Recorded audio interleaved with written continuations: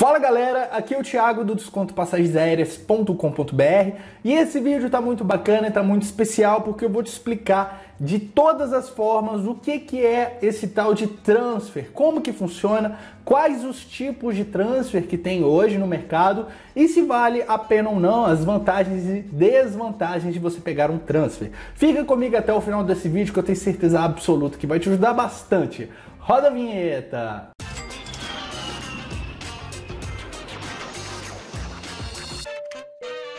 E se você ainda não é inscrito no canal do descontopassagensaéreas.com.br, se inscreva agora, pessoal, porque todos os dias a gente está aqui passando somente as melhores promoções de passagens aéreas totalmente para você. Além disso, é possível você se cadastrar na minha lista VIP. É o segundo link na descrição do YouTube. Vale muito a pena você se cadastrar para ter todas essas dicas no seu e-mail com atualizações e coisas que não tem aqui no canal, ok?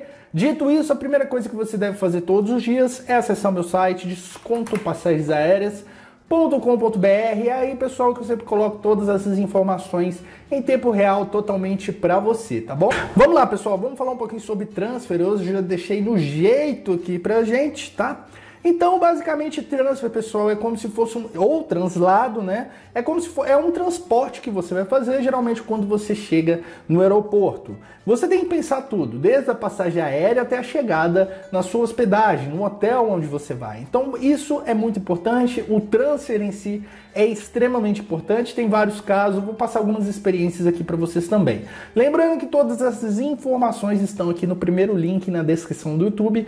Vale a pena dar uma olhada, tá bom? Então vamos lá, o que é transfer? Transfer é, ou translado é o serviço né, que você contrata para é, sua loco, locomoção. Para sua locomoção. Em viagens, esse termo costuma ser utilizado quando é necessário um trajeto entre o aeroporto e o hotel normalmente, tá?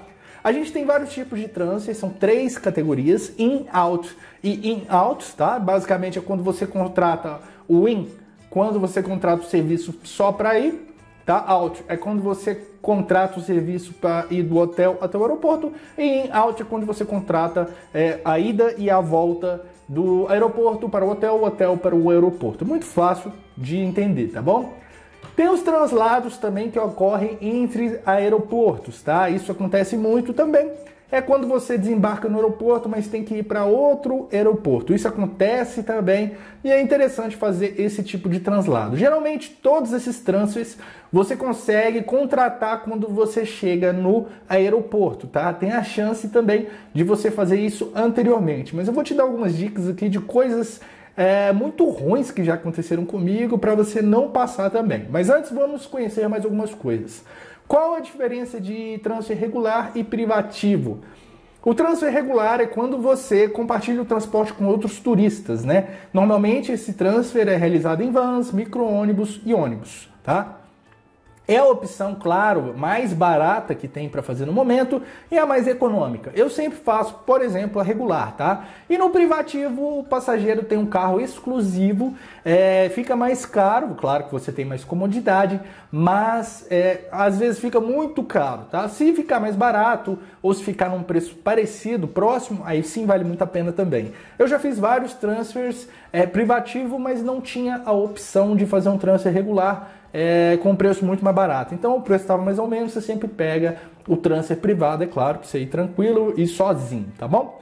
Quais as vantagens de contratar o serviço de transfer? O principal vantagem é a sua segurança, tá? Porque essas empresas que fazem esse tipo de serviço, elas são, é, no caso, certificadas pelo Ministério do Turismo. Isso é extremamente importante, é muito importante, principalmente para a sua segurança. Então tem uma regulamentação, tem, tem um esquema, tem tudo certinho no papel, leis tá? que deixam isso seguro, certo? Além, é claro, de outras vantagens como comodidade, tranquilidade e receptividade, tá bom? É, quais as desvantagens de contratar o serviço de transfer? Pode ser que fique mais caro, sempre vai ficar mais claro, é claro que você pegar um serviço público, tá? Mas é aquele negócio, é, como é que você vai pegar um serviço público cheio de mala? Não dá para fazer isso.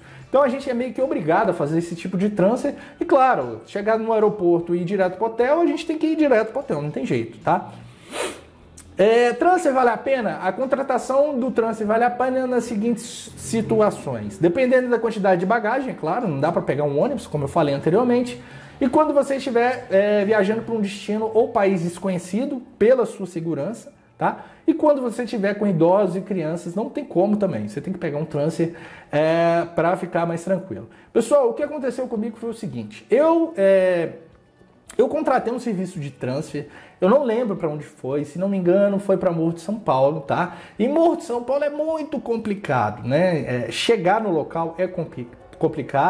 É, não só lá, mas tem outros locais também que é complicado. Então o que aconteceu foi o seguinte: eu cheguei no aeroporto e eu cheguei, se não me engano, 4 horas ou 6 horas antes do transfer sair. Né, que já tinha sido combinado antes. E eles não tiveram a flexibilidade de me ajudar e me colocar num transfer mais cedo, né? Então eu fiquei esperando no aeroporto, se não me engano, 4 a 6 horas né, para pegar esse transfer e eu fiquei muito nervoso esse dia. E o que aconteceu foi o seguinte: eu já tinha pago, né? Então, é, lá no aeroporto, quando você chega para fazer o transfer, você pode olhar em outras empresas, né? E eu achei outras empresas com o mesmo preço saindo em uma hora, 15 minutos, enfim.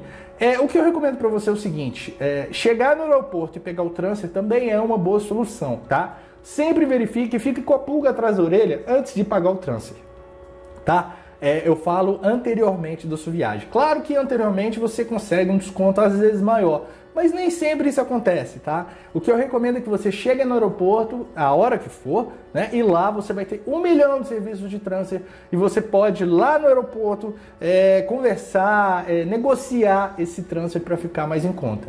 Para você saber disso, tá? É interessante você ligar para o aeroporto que você vai viajar e, e principalmente ligar para o hotel que você vai viajar que eles vão te passar a manha do negócio, tá? Então fica muito, mas muito esperto com isso, não paga transfer antes da hora, tá? Que é a dica que eu te dou, porque você pode passar raiva, como eu passei em algumas viagens que eu já fiz, tá bom? Isso acontece muito. Pessoal, espero que vocês tenham gostado desse vídeo, espero que tenha te ajudado. Não deixe de forma alguma de se inscrever no canal. Muito obrigado, um forte abraço e a gente se vê amanhã. Tchau, tchau!